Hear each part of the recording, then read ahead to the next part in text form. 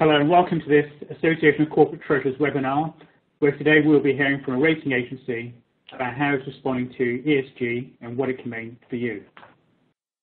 So what is ESG? Um, it stands for Environment, Social and Governance, and it's in all the headlines today, these days, uh, whether it's the general news about Extinction Rebellion or it's in the financial press with comments from Mark Carney. It's a story that's going to have a long way to run. The attention of policymakers and regulators has resulted in a number of initiatives already, including the Task Force on Climate-Related Financial Disclosures, uh, commonly known as TCFD, the Principles for Responsible Investment that's got over 2,500 signatories, uh, most of the leading asset managers, and the Equator Principles for Project Finance. So there's a lot going on from a regulatory perspective, the Treasury community itself is recognising the importance of ESG, we see innovations from companies such as Anglian Water, who are the first UK utility to issue a green bond, and from Thames Water, who have an innovative twist to their revolving credit facility with a green element to it. The ACT itself is playing its part with a special section in the Deals of the Year award, a series of articles in the Treasurer, both the printed and the web edition, a podcast last month on green finance, with uh, accounting for sustainability in Anglian water, and a number of blogs on the topic as well. One of the key challenges impeding genuine progress is around building consistency around the definitions of ESG activities, how they're labelled, and how they're reported on. Rating agencies have implicitly included material ESG risks historically, but have had to see um, from their criteria exactly how this subset of risks influence credit. And today we're delighted to welcome two directors from Fitch Ratings, one of the big three rating agencies, who will help us understand ESG, how ESG plays into your business.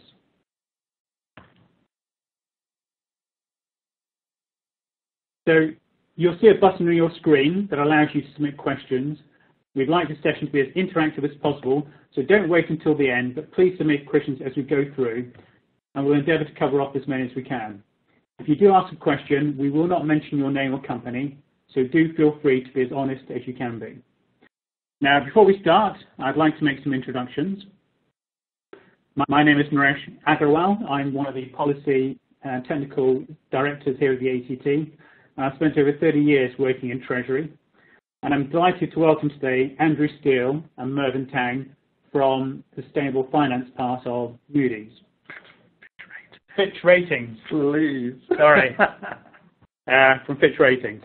Andrew has over 30 years of experience as a global risk and finance specialist and was recently appointed to lead a new cross-sector global team to develop and expand Fitch's analysis of ESG and sustainable finance.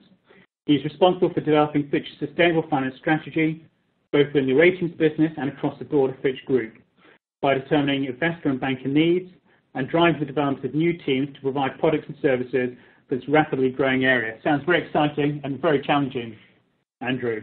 And joining us from Hong Kong, we have Mervyn Tang, who's a Senior Director and Global Head of ESG Research at Fitch Ratings Sustainable Finance Division. Okay, thank you very much, Naresh. Um, well, we thought we'd start off by giving you um, something of an overview and um, to talk a little bit about, well, you know, what's all the fuss about when it comes to, to ESG. I mean, an important factor to remember when people talk about ESG is they often talk about it as if it's some kind of new risk category that's emerged from nowhere. But our, our view, and I think the, the view of most people um, who've experience of investing and looking at ESG, is that these are risks which generally have always been, already been present, and subcategorizing them and separating them out to clearly display which aspects relate to environmental, which relate to social, and which relate to governance, is really just a different way of approaching investment and investment strategies. Um, so the risks are already there, but maybe this is a different way of categorizing and, and looking at those particular risks. Now, I, put a little quote in here um, to start from, from the, uh, the, the sage of Omaha, um, Mr. Buffett himself, which says companies that do harm to stakeholders are not likely to be good long-term investments. You as Treasury professionals, I'm sure, are all aware of that and the consequences that can arise from that. But when it comes to environmental, social, and governance factors, what has been driving the increased interest in this particular subcategory of risks over the last two to three years. And the last two to three years really have been an exponential increase in interest in this in the fixed income community globally. And this slide shows you one of the main drivers of why that is occurring. And it's being driven by asset owners who are increasingly asking their asset managers who invest the funds for them to report on these factors. And it's for them, it's about being able to be seen to do good as well as do well. And you can see from this graph that um, back in 2017, about 50%, 55% of um, asset owners were actually using ESG policies that asset managers held to help them decide which asset manager to select. But in the last year or so, that's increased now to over 86% of asset owners are expecting their asset managers to have some kind of ESG assessment framework when they're creating um, investment instruments that will hold bonds of people like yourselves. And then in terms of how they assess the actual performance of the asset managers, and monitor the performance of the investments that are made on their behalf, you can see that again, that's also increased from 2017 to 2018 by about 25%. It's now about 78% of all asset owners. And by asset owners, we mean people like the pension funds, the insurance companies, um, which are gathering in the deposits to be invested in corporate bonds such as the ones that yourselves issue. So that's a very big driver. And that's led asset managers to start to look at the investments they're making in, in corporate bonds in particular and to say, actually, what are the influences of ESG risks on the performance of these bonds? And here is just a little snapshot of the level of global assets under management, which are now ESG principles invested. And you can see that it's, it's reached a stage where over $30 trillion of assets under management out of about 90 trillion are now being ESG principles invested. So this is important and it's increasing quite rapidly. Um, back in um, 2017, that figure was, it, it's about, I think, 34%, something like that now. Back in 2017, it was around about 26, 27%. So it's increasing rapidly. But then if you actually look at the investors who own those sort of $89.7 trillion of, of assets, actually 88% of them have some form of sustainable impact or ESG policy now. And so ESG practices are very much becoming part and parcel of the standardized way in which investors look at companies when they're deciding whether or not to allocate funds to them. So what about credit rating agencies and, and where does all that come into uh, the uh, rapid rise of interest in, in ESG? Well, up until about the uh, end of 2018, the big three credit rating agencies, ourselves, Moody's, and S&P, we were all basically saying the same thing, which is, look, if these risks are material, then they're included within our analysis. But I think quite rightly investors were saying, okay, that's fine, but you have a 156-page criteria on how you analyze corporate entities. Which aspects of that are important from an ESG perspective? And so essentially they, through the UNPRI, started to apply pressure to the rating agencies to say, look, we need more detail and transparency around the following aspects. We want you to assess material ESG characteristics at a sector level. We want to know what's relevant for a sector. We also want to know, if it is relevant for a sector, how material is it for an individual issuer, and how is it affecting each issuer. And we'd also like you to identify what are systemic risks um, from ESG in, in the markets in which you're producing ratings. And so at the uh, beginning of 2018, we set about looking at how we could extract these risks from our existing criteria and display them as a subcategory uh, separately, and how we could very clearly articulate if an individual aspect of environmental, social, or governance risk was impacting a rating.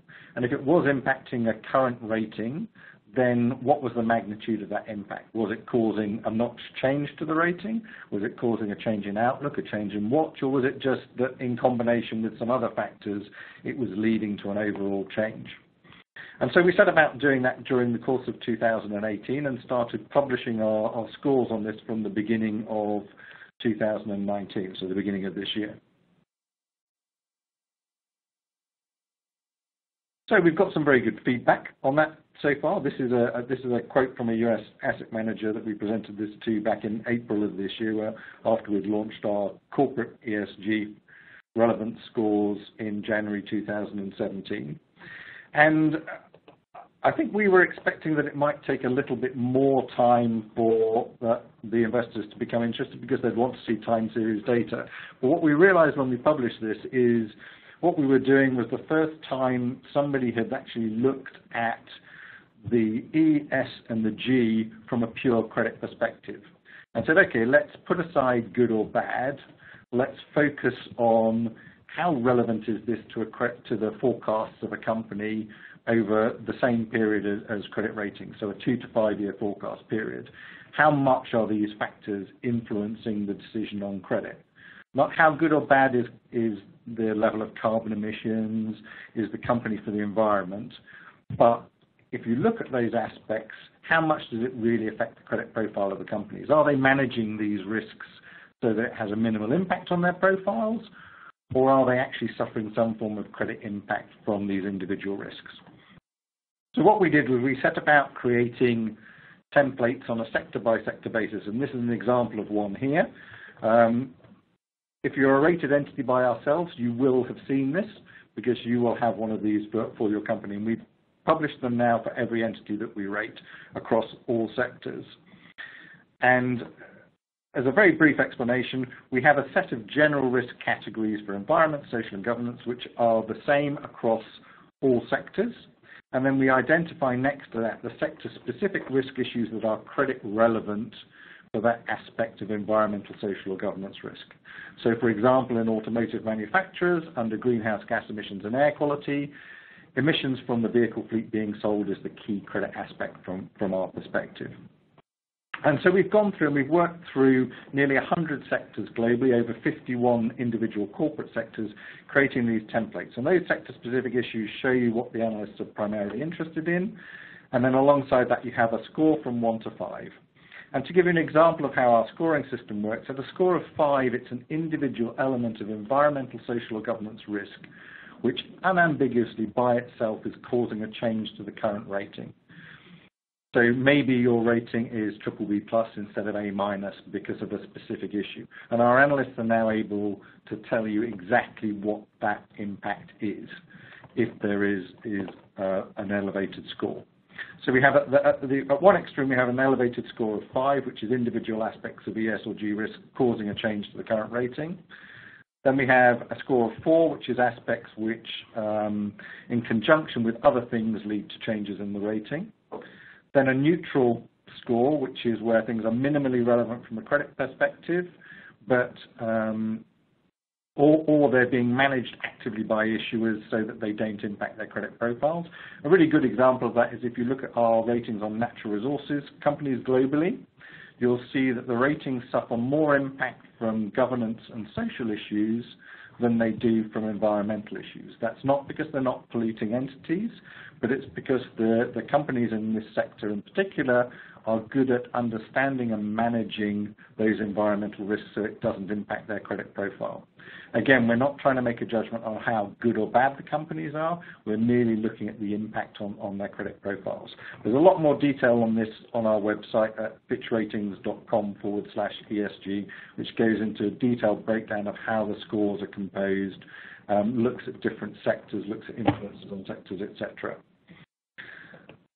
So on the next slide, I just wanted to, to, show you a summary of what we've done so far this year, and this includes what we're about to publish tomorrow morning, which is structured finance transactions.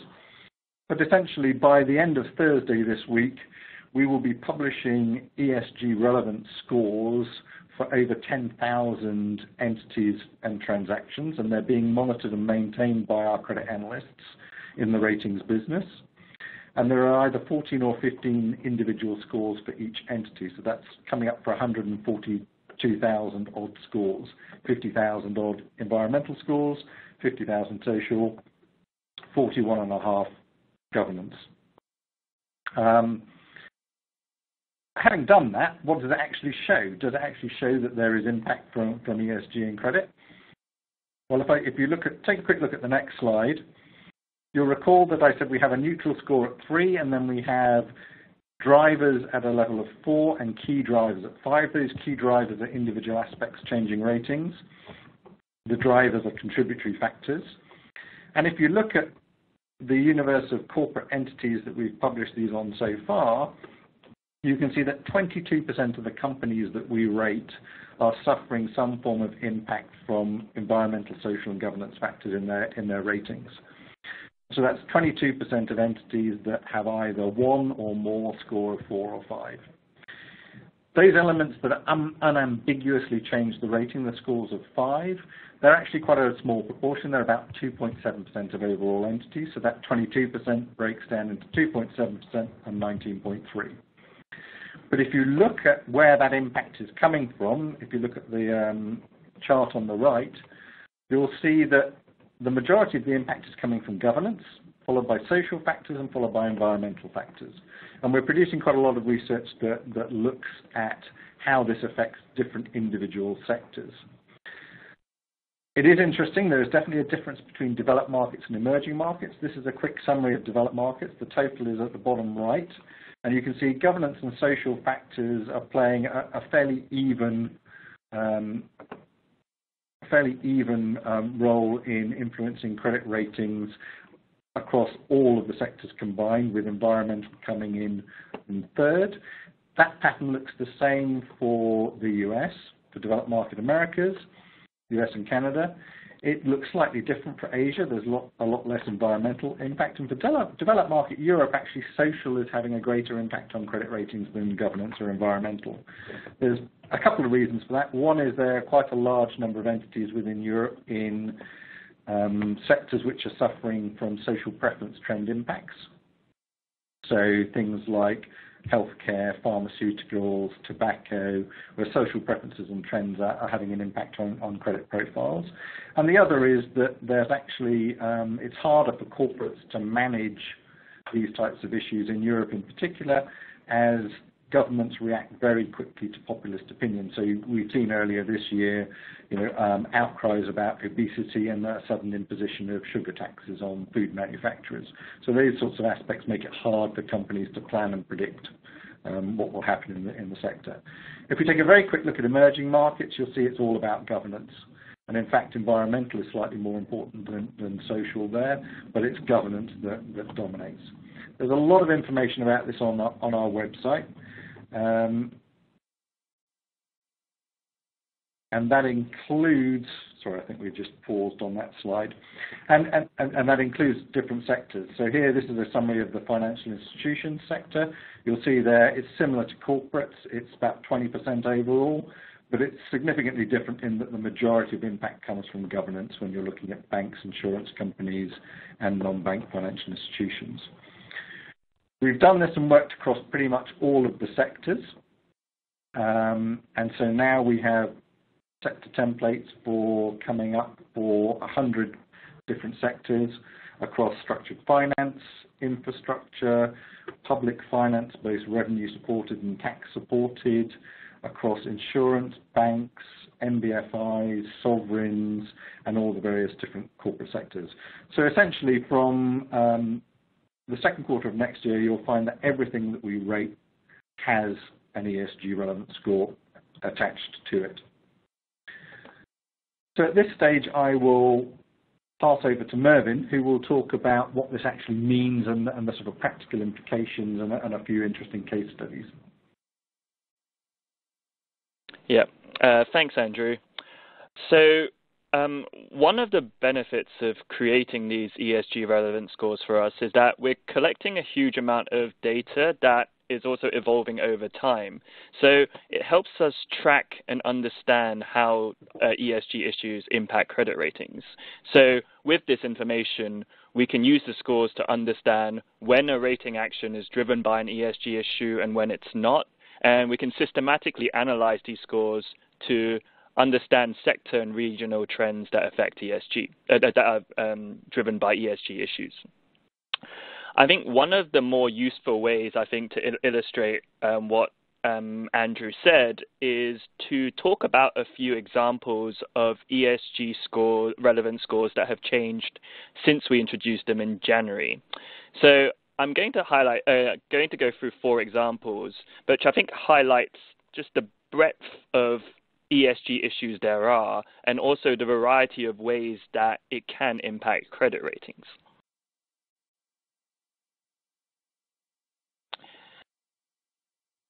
Here's an. Here's four examples of where we have had um, relevant scores change. And the first example I want to discuss is CoreCivic, which is a U.S. private prison operator. whose uh, credit rating was downgraded from double B plus to double B in July. Now, the downgraded uh, the downgrade reflected um, the fact that a list of banks in the U.S. publicly announced plans to withdraw lending and financial services to the company, uh, weakening its capital access. Now, if you looked at the ESG relevance score for um, exposure to social impact, um, we actually increased this from three to four in April uh, when these concerns started to materialize. I think this example is interesting for a few reasons. I think the first is that the credit impact is not actually driven by regulatory regulation or policy issues, uh, policy decisions, as it often is with um, some of the ESG issues that we look at. But the consequences of ESG considerations uh, being a bigger part of uh, the actions of financial market actors. Banks have increasing ESG concerns. Um, uh, over uh, what prison operate, private prison operators are doing, and they're doing uh, they're reflecting that in their lending.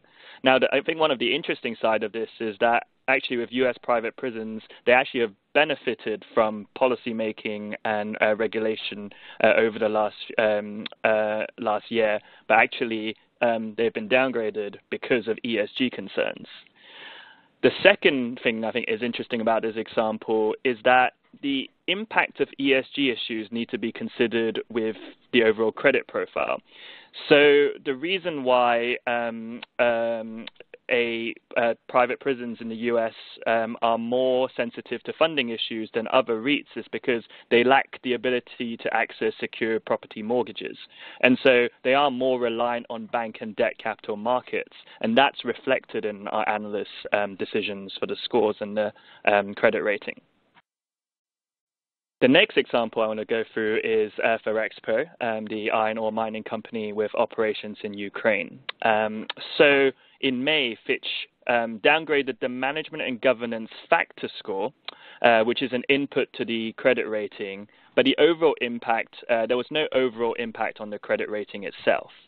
Now, at the same time, the ESG relevance scores for governance structure, group structure, and financial transparency uh, were also increased from three to four, which indicates that there's an issue. Uh, uh, these issues, in combination with other factors, have had some impact on the credit rating.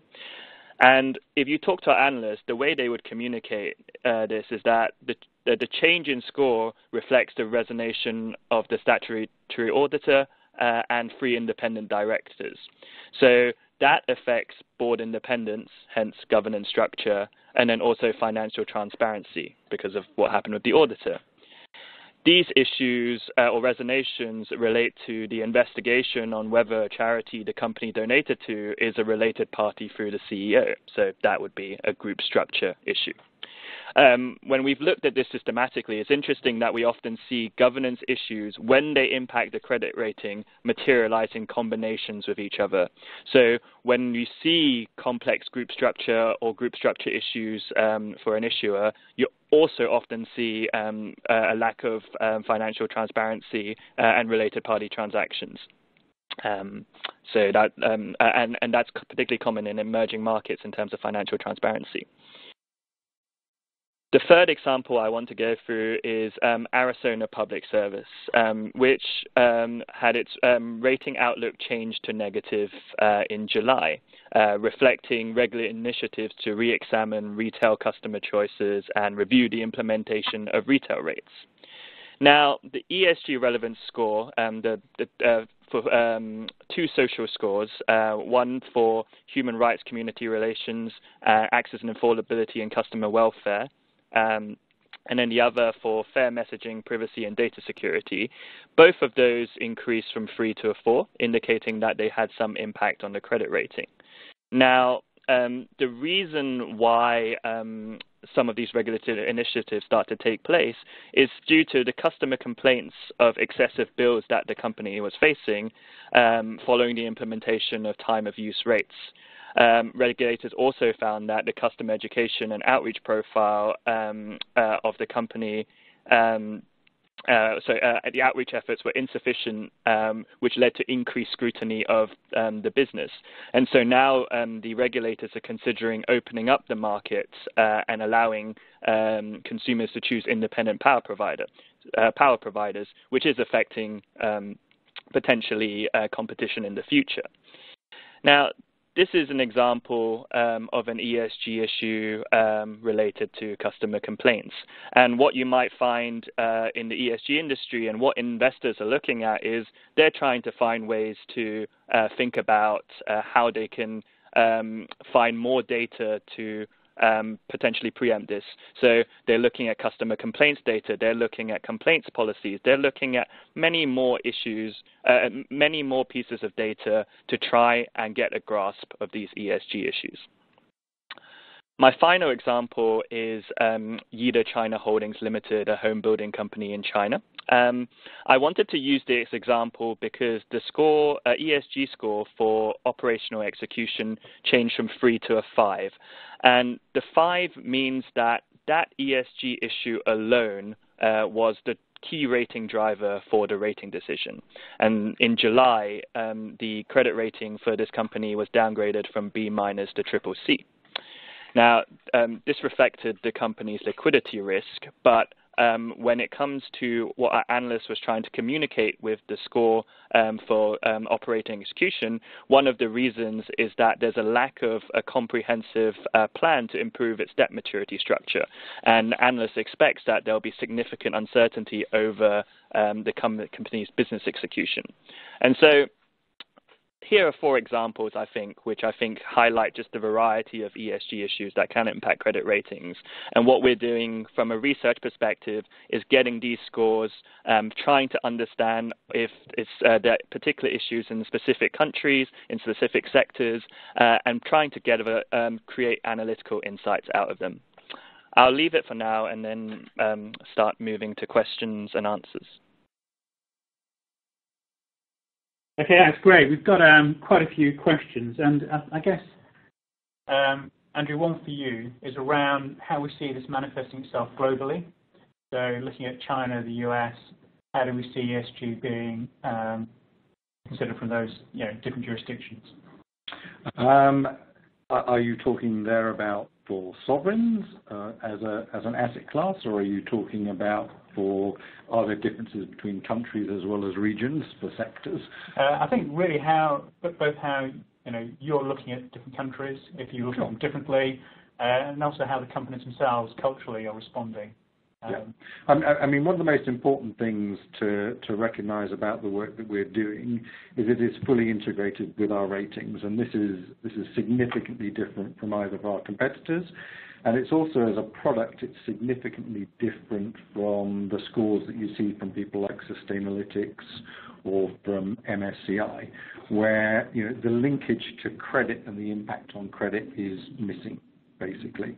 And so the reason we developed this and, and, and, we went about doing this was to provide that missing piece of information to investors in the market. And we have done this across everything from government-owned entities, from municipalities, regional government cities, um, right through to the sovereigns, sovereigns themselves. And what it does show you is different levels of impact um, depending on what type of entity you're dealing with. So, for instance, if you look at um, there are 118 sovereign entities that we rate around the world, um, there is material impact from ESG for 100% of those entities, mainly because governance is a strong driving factor in the rating of a, a sovereign entity. Um, sovereigns are quite complex because they don't act in a market where they're competing with each other. And so the scores for sovereigns tend to be more absolute. Is governance a factor when you're assessing the risk of this entity or not? Um, and it's harder to make comparisons. We're working on greater granularity, but that probably involves methodological changes. A, a lot of sovereign data is quite time lagged, and also people tend to use aggregated information through World Bank indicators and stuff like that to measure sovereign risk. But ultimately, you know, the, the, the short answer to your question is, is yes, we see pervasive impact everywhere. It's interesting when you look at non-financial corporates, you look at financial institutions, you look at structured finance, it's around about a fifth of entities and transactions which are being impacted by these factors. I mean, it is fair to say that a large number of these risk aspects are being actively managed so that they don't impact the financial profile. And again, I can't em emphasize enough, when we're looking at this, we are looking at the impact on credit, and so the impact on financial profiles of the entities. We are not concerning ourselves whether they are increasing carbon emissions or decreasing carbon emissions. We only care about that if it has a financial consequence for their forecasts in the next two to five years. So again, we're not making moral judgments. We're just saying when it comes down to it, what's the reality from a financial perspective from these factors? Is it going to cause a difference over the next two to five years? And again, that's a, that's a source of information that's been missing in the market so far. And for, for many of the people listening and the treasurers there trying to understand what they can do to influence their ESG rating, is do you think there's enough transparency to help them understand what they could or should be doing, both as a company, what their peers are doing? Yeah.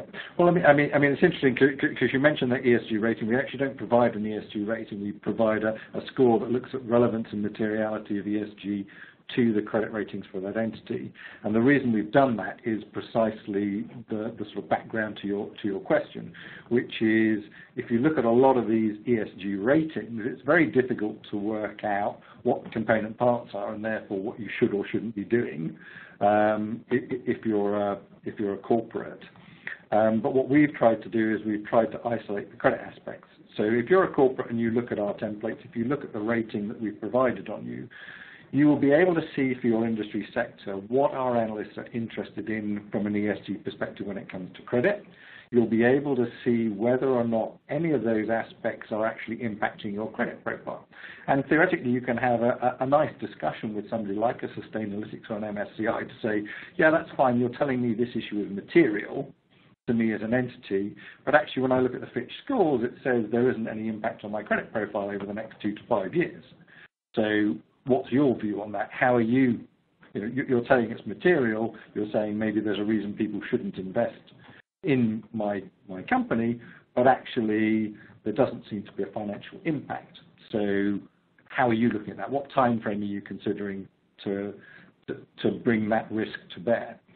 And again, you know, time frame is important, and what we're doing doesn't replace what other people have started to do in this market, but it provides cross comparable consistency and clarity. So you can look at it, and, and if you have nothing on there, it may be that it's because your industry isn't particularly affected, or it may be that you're very, like a, uh, some of the natural resources companies, you're actually very good at managing it so it doesn't have a, a financial impact. Okay, and um, you, have mentioned people like MSCI and Sustainalytics. Um, where are we on the, trying to get a more consistent approach and a view around what is green, what is light green, what's quite dirty brown? Well, that, that, that comes to a whole different aspect, which is labeling of, of bonds. And I mean, from a pure credit perspective, we see no real difference between a green bond and a brown bond. Ultimately, you know, the, the things we are interested in is whether it has an impact on, on the credit aspects of the business, not how moral or ethical it is, or necessarily application of processes, uh, proceeds, unless there's a, a, credit aspect to it. And um, just a broad question around governance. How, how do you assess governance? Because that's quite a well, governance, bizarrely enough, for, for, for rating agencies generally, governance is something which they've been focused on for a very long time. And so for, for us, when we produce these templates, and again, these templates look at five environmental categories, they look at five social categories, four governance categories. Those four governance categories are the same as the governance criteria that we've had in place for well over over a decade. And governance is, extreme, is extremely important because what you tend to see is it has a knock-on impact. Often you'll see governance issues emerging before they translate into a social impact issue or an environmental impact issue. And we're doing some research to look at how that varies be between sectors. But governance is kind of one of those things which is also unidirectional. Superb, fantastic, best practice governance um, doesn't get you a higher rating, but poorer governance will get you a, lo a lower credit rating. Um, so, you know, meeting thresholds and standards for the industry that you're in is extremely important. And companies go through a lot of work in terms of benchmarking and implementing best practice on that.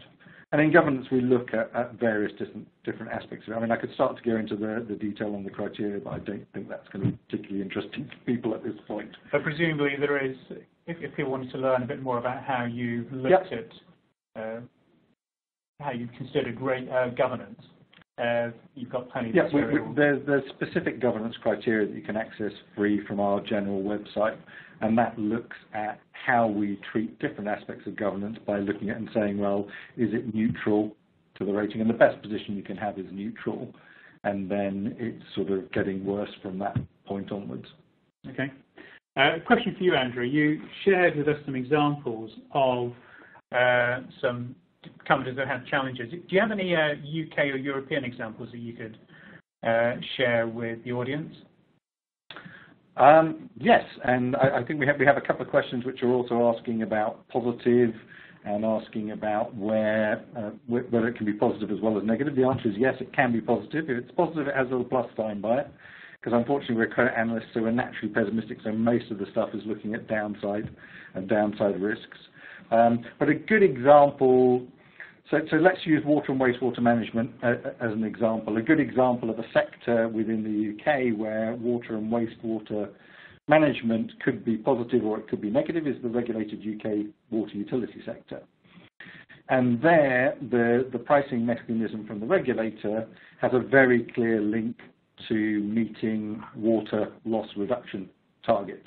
If you fail to meet those, then you know you can pick up some very heavy fines. Um, I think there's a there's a subsidiary of Thames Water which picked up about 280 million pounds worth of fines in, in the last pricing period, and that leads to more stringent um, rating going. Uh, sorry, that leads to more stringent regulation going forwards, and so that can result in your rating being impacted and having a score of uh, one of those high scores of five. But conversely, if you outperform on reducing water leakage, from your transmission system, you can earn additional revenues. And that would be a good example where you could pick up a positive score of four or maybe even a positive score of five if you significantly outperformed. Where you see positive scores tends to be in sectors where there is either some form of regulatory ring fencing around revenues or cash flows that provides you know, higher levels of profitability or more secure revenue streams. Um, some feed-in tariffs, for instance, for renewable energy businesses, um, provide a more stable and higher level of profitability than market-driven um, energy production in, in renewables, and so they might be considered to be more, more favorable. Um, so, so there are a number of different examples, but it tends to be where you have those structural aspects that support the credit profiles. Okay, that's great. We've got, a, I think, five more minutes, and we've still got more questions coming through. Um, unsolicited um, ESG ratings, do they occur? Do it, it, it's not possible for us to do the scores that we're doing without producing a credit rating as well. And you know, to be honest, the ESG relevant scores would be quite meaningless without the rating because what we're looking at is we're looking at how the rating is being influenced by by these factors. Um, it's not a choice for an issuer to decide to have the ESG relevant score with their rating, they'll get it automatically. Right.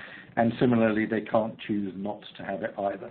Um, again, it's an observation on how much this subcategory of risks has affected the overall rating decision.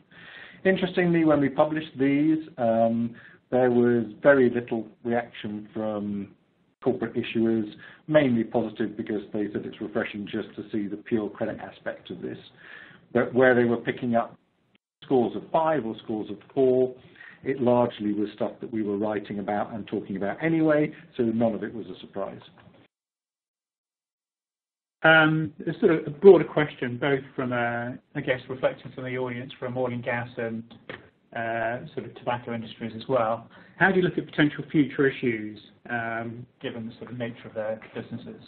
Okay, so maybe um, I think we can probably just squeeze in a, a quick example of uh, if, if, I run you through a very fast example of how the scores could change over time, I think that will give you some insight into that.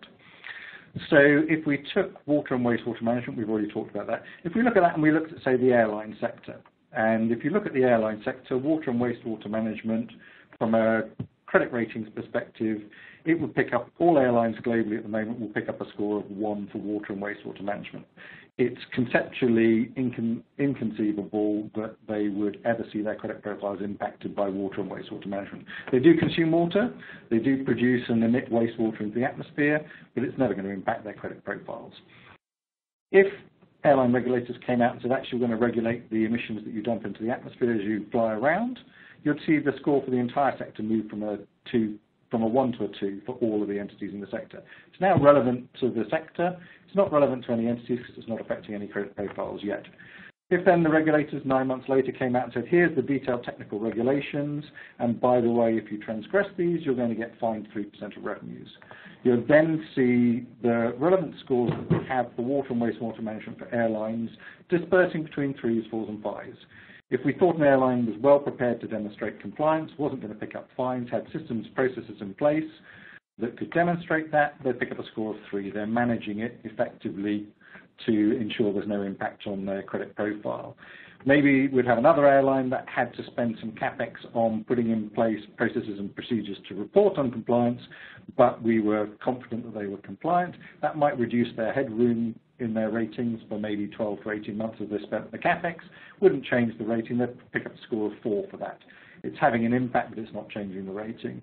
And then if somebody had to change their operating processes, put in place policies and procedures, we thought they were going to get fined, then you'll see them going on a watch, an outlook, or getting downgraded, and they'd pick up a score of five. Now, I have emphasized that what we're doing at the moment looks at a forward-looking two to five-year period. That's important. A lot of the scores you get at the moment are point in time or backwards looking. Um, but the nub of what this question I think is about is how do you then take into account transition risk? How do you take into account long-term changes in linearity of climate-related events, those types of aspects? This is embedded with the analysts who are doing the credit ratings, and so they are constantly monitoring and updating their analysis. And so it's on a rolling basis. So as these things come nearer to the horizon, they'll start to impact that. They'll start to come in through that route of ones, twos, then into threes, building up to fours and fives. Um, so we look at we look at um, things like transition risk um, through scenario analysis, and we'll look at individual sectors or we'll look at individual aspects, policy changes, perhaps that can affect a number of different sectors around carbon pricing, that type of thing. But they're not the base case scenarios that we, we base the ratings on unless we can envisage an impact within that two to five year period. That's brilliant. We've um, we've got many more questions. We we can't go through all of them. It's clearly an issue that is uh, really important to help understand how, organi how organisations like yourselves are responding. Uh, it's helped me understand a bit more about the differences and the sort of key considerations. Uh, I think we could go on for a couple more hours with the questions we've got. Um, we we will be publishing. I think we'll be sharing the slides. Yeah, the, slides also have quite a detailed appendices in them that look at a breakdown by sector of some of the different issues to do with environmental, to do with social, to do with governance. They also look at comparing some of the, the governance aspects. all of the stuff that we are publishing on this and have published so far this year is available free on our website. Um, you have to go to fitchratings.com forward slash ESG. It'll ask you to register, but once you've registered, you'll be able to see all of the ESG stuff. And that includes the raw data on all the issuers, so the 14 scores or 15 scores for every issue. You can download that in an Excel sheet. You can also download lots of graphs and charts that compare sectors and look at um, differences between regions. Some of those charts that I showed you earlier on for lots and lots of different sectors. That's brilliant. And this recording itself will be available in a couple of days. I think people will be getting emails once it's been uploaded onto the, the website. Um, as I said, thank you very much for joining it. We joining this webinar. The ACT's got a number of resources, and I want to just highlight that our annual conference next year uh, in Wales will have as its theme Balancing Risk, Champion Sustainable Growth. Please take time to fill in the survey as the feedback you provide is very helpful to us when arranging future events. And um, finally, I'd like to say thank you to Andrew and to Mervyn for joining us from Hong Kong. Thank you. Thank you very much. Our pleasure. Thank you.